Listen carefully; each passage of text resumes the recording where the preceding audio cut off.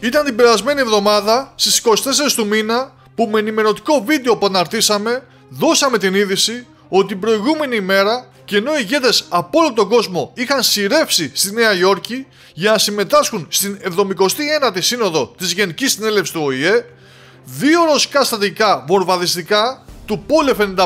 MS πέταξαν πάνω από τα διεθνή ύδατα της Βερίγγιας θάλασσας τραντάζοντας την περιοχή της Αλάσκας και στέλνοντας ένα ακόμα μήνυμα στη Δύση και ειδικότερα στις Ηνωμένες Πολιτείες Αμερικής.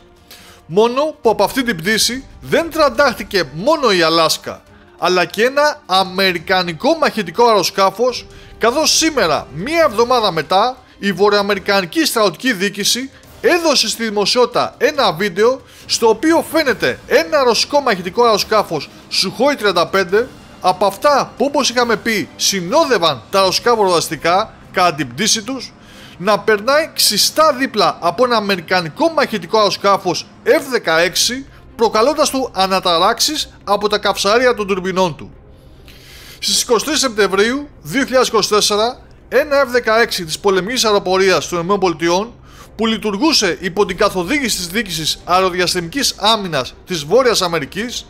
διεξήγαγε μια τακτική αναχέτηση ενός ρωσικού αεροσκάφους του Πόλε 55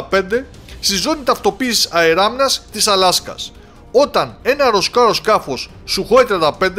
πραγματοποίησε έναν μη ασφαλή ελιγμό κατευθυνόμενο προς το F-16. Με απλά λόγια, το ρωσικό αεροσκάφος έκανε bullying στο αμερικανικό και αυτό είναι ένα ακόμα δείγμα της πολύ ψηλής έντασης και των πολύ κακών σχέσεων που υφίστανται ανάμεσα στις δύο χώρες το τελευταίο χρονικό διάστημα.